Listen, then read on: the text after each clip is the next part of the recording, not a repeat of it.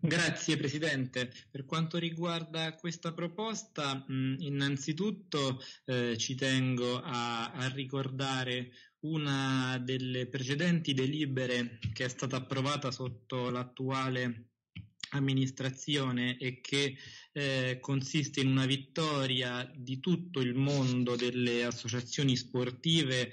eh, di, su una battaglia durata almeno 30 anni, ovvero quella dell'utilizzo delle risorse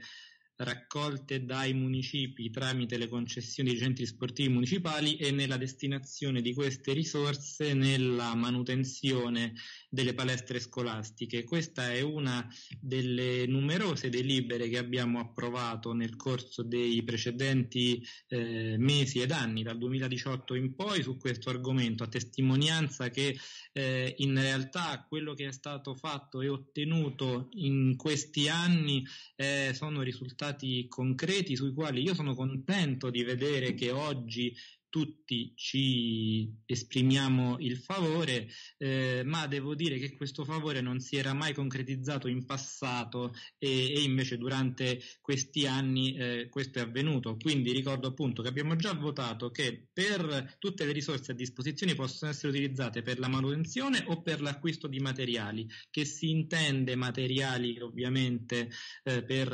l'attività dei centri sportivi municipali, ma anche in questo caso per le sanificazioni e vorrei sottolineare che non è il problema delle sanificazioni quello che hanno affrontato il, le associazioni, eh, ciò che ha impedito ad alcune associazioni di eh, ripartire è stato fondamentalmente il diniego di alcuni dirigenti scolastici e in alcuni casi dei problemi di comunicazione con eh, i municipi.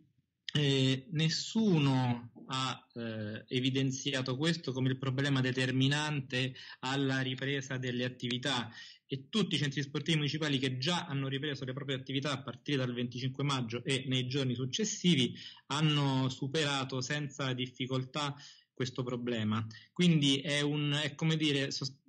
lo ritengo un, un, falso aiuto questo che eh, siamo chiamati a votare e, e, quindi esprimo il voto contrario da parte del Movimento 5 Stelle ribadendo, ripeto, che invece il supporto vero alle associazioni anche dal punto di vista economico è già stato ottenuto grazie al vincolo dell'utilizzo dei canoni di concessione